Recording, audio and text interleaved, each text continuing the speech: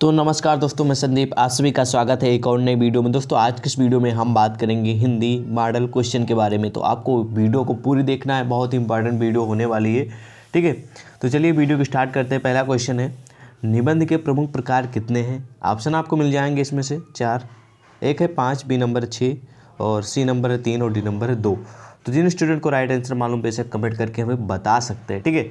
तो निबंध के जो प्रमुख प्रकार होते हैं, सारे एग्ज़ाम में कई बार एग्ज़ाम में पूछे जा चुके क्वेश्चन हैं और इंपॉर्टेंट भी हैं, ठीक है? तो आप ध्यान दीजिएगा क्वेश्चनों पर।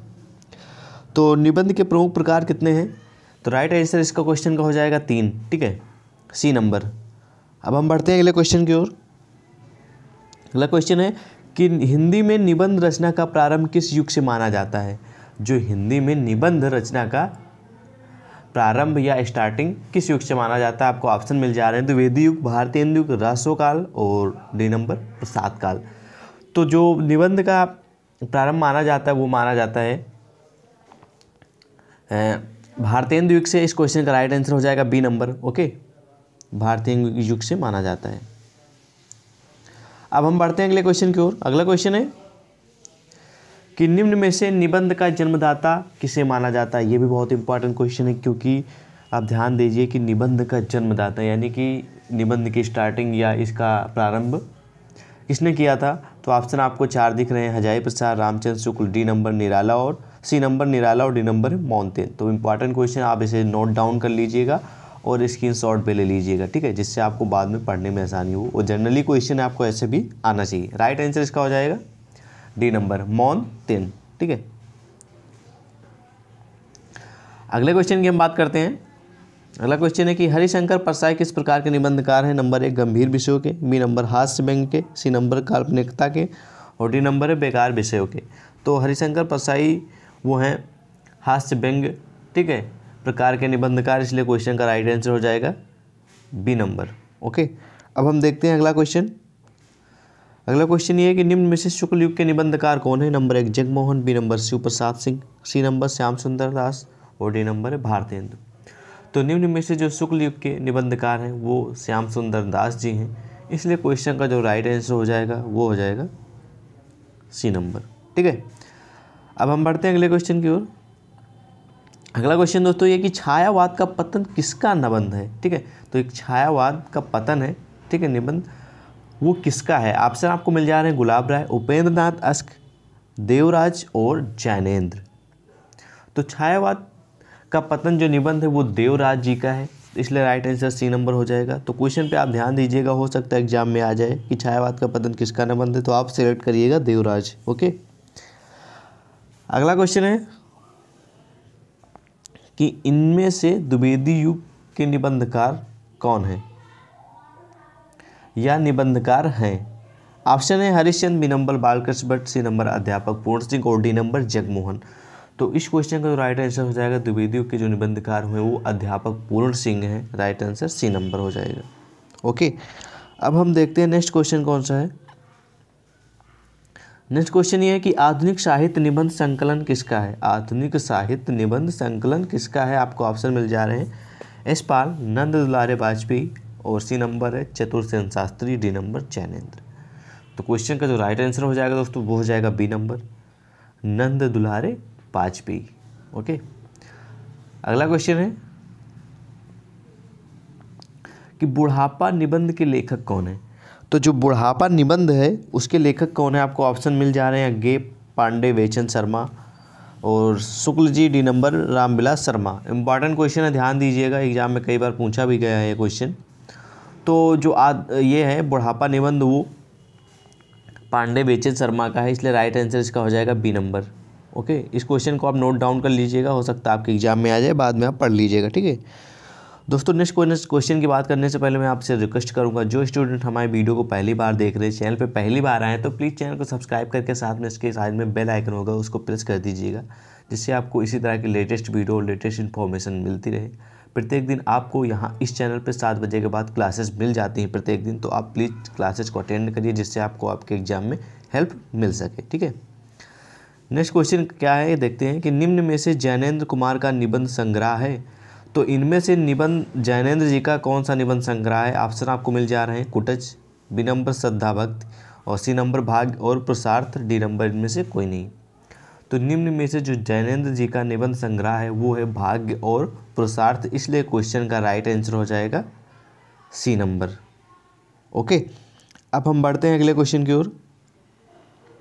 अगला क्वेश्चन ये है कि आचार्य रामचंद्र शुक्ल के कितने निबंध संग्रह है? नंबर एक उन्नीस बी नंबर सात और सी नंबर आठ डी नंबर है तीन। तो आचार्य रामचंद्र शुक्ल जी के जो निबंध संग्रह हैं, वो हैं तीन इसलिए क्वेश्चन का राइट आंसर हो जाएगा डी नंबर हो सकता है क्वेश्चन आपको भी ऊपर देखने को मिला हो, दोबारा रिपीट हुआ, लेकिन आप ध्यान दीजिएगा, ठीक है? अगला क्वेश्चन है, राष्ट्र का स्वरूप निबंध किसका है? नंबर एक, Yashpal B number Ramchandra C number Vasudev Sharan D number आज्ञे तो राष्ट्र का स्वरूप जो निबंध है, वासुदेव शरण अग्रवाल का है, इसलिए क्वेश्चन का जो राइट आंसर हो जाएगा दोस्तों, वो हो जाएगा सी नंबर ठीक है? अब हम देखते हैं नेक्स्ट क्वेश्चन कौन सा है? नेक्स्ट क्वेश्चन ये है कि चिंतामणि किस विधा की रचना है? ऑप्शन है एकांकी बी नंबर नाटक सी नंबर है निबंध और डी नंबर है उपन्यास। तो जो चिंतामणि है, वो निबंध विधा की रचना है। क्वेश्चन का राइट आंसर हो जाएगा सी नंबर अब हम देखते हैं नेक्स्ट क्वेश्चन अगला क्वेश्चन है कि निबंध को गद्य में सीमित आकार का लेख किसने कहा? ऑप्शन है किट्स ने, बी नंबर शेक्सपियर ने और सी नंबर गिरसन ने, और डी नंबर है सर एडमंड गॉश ने। जो तो हम आपको बता दें कि निबंध को गद्य में सीमित आकार का लेख कहा है सर एंडमंड घोष ने। ठीक है, इसलिए राइट आंसर इसका हो जाएगा डी नंबर। ध्यान दीजिएगा, सर एडमंड घोष ने कहा है। अब हम बढ़ते हैं अगले क्वेश्चन की ओर। अगला क्वेश्चन है कि गोपाल चंद गिरधर दास ने नहुस की रचना कब की? नंबर एक है उन्नीस सौ सत्तर बी नंबर है उन्नीस सौ चार और उन्नीस सौ सत्तावन डी नंबर है उन्नीस सौ पचास। तो गोपाल चंद्र गिरधर दास जी ने नहुस की रचना सन उन्नीस सौ सत्तावन ईस्वी में की थी। क्वेश्चन का राइट आंसर हो जाएगा सी नंबर। ठीक है? अब हम बढ़ते हैं अगले क्वेश्चन की ओर। अगला क्वेश्चन ये है कि द्विवेदी युग के भावपूर्ण निबंधों के निबंधकार कौन है? द्विवेदी युग के भावपूर्ण निबंधों के निबंधकार कौन है? नंबर एक है Mahadevi Verma, B number Sardar Puran Singh, C number Agyeya D number Upendra Nath Ashk. तो क्वेश्चन का जो राइट आंसर हो जाएगा दोस्तों, वो हो जाएगा B number Sardar Puran Singh. Okay अगला क्वेश्चन है कि रामविलास शर्मा किस श्रेणी के निबंधकार हैं? नंबर एक, प्रयोगवादी बी नंबर छायावादी सी नंबर आशावादी डी नंबर प्रगतिवादी। तो जो रामविलास शर्मा जी हैं, वो प्रगतिवादी श्रेणी के निबंधकार हैं, इसलिए इस क्वेश्चन का जो राइट आंसर हो जाएगा दोस्तों, वो हो जाएगा क्या डी नंबर ठीक है? नेक्स्ट क्वेश्चन देखते हैं. नेक्स्ट क्वेश्चन ये है कि इनमें से हास्य व्यंग का निबंधकार है या इनमें से हास्य व्यंग का निबंधकार कौन है? तो इस क्वेश्चन का राइट आंसर शायद अभी मैंने आप लोगों को बताया ही। आप लोग कमेंट करके हमें बताइएगा कमेंट में ठीक है? कि राइट आंसर इसका क्या होगा? धर्मवीर भारती रविन्द्रनाथ त्यागी रामचंद्र शुक्ल और डॉक्टर राम कुमार वर्मा। ठीक है? इस क्वेश्चन का राइट आंसर आप लोगों को बताना है प्लीज़ कमेंट में करके हमें ज़रूर बताइएगा, ठीक है? जिससे आप लोगों को भी आइडिया लग जाए कि हाँ क्वेश्चन का राइट आंसर क्या होगा, नहीं आएगा तो मैं बोल दूँगा कि राइट आंसर क्या हो जाएगा, ठीक है? गेस करिए आप लोग। अगला क्वेश्चन देखते हैं। अगला क्वेश्चन है कि भारतीय युग के निबंधों की मुख्य कमी क्या है? नंबर एक, विषयों का अभाव। बी नंबर व्याकरण दोष। सी नंबर हास्य, व्यंग, और डी नंबर है अति सरलता। तो भारतीय युग के जो निबंधकारों की जो मुख्य कमी है दोस्तों, वो है ठीक है?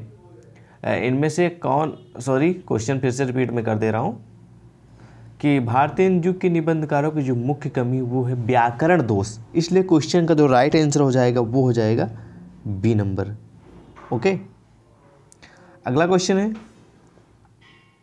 कि मनोविकास संबंधी निबंध किस रचन, की रचना किसने की?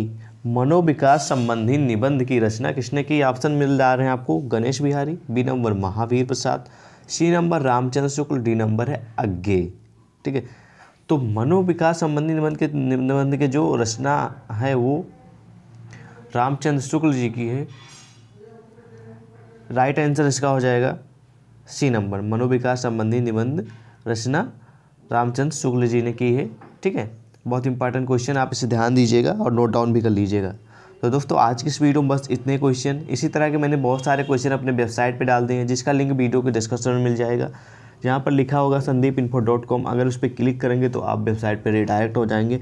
वहाँ पर आपको बहुत सारे समाजशास्त्र राजनीतिक शास्त्र, हिंदी, बहुत सारे आपको क्वेश्चन वहाँ देखने को मिलेंगे। तो प्लीज़ आप वेबसाइट पर विज़िट ज़रूर करिए, ठीक है? तो जिन स्टूडेंट का जो भी क्वेश्चन है, जो भी क्वेरी है, अगर कुछ पूछना चाह रहे हैं तो बेशक कमेंट करके पूछ सकते हैं। हम उसका हंड्रेड परसेंट रिप्लाई देने की पूरी कोशिश करते हैं, ठीक है?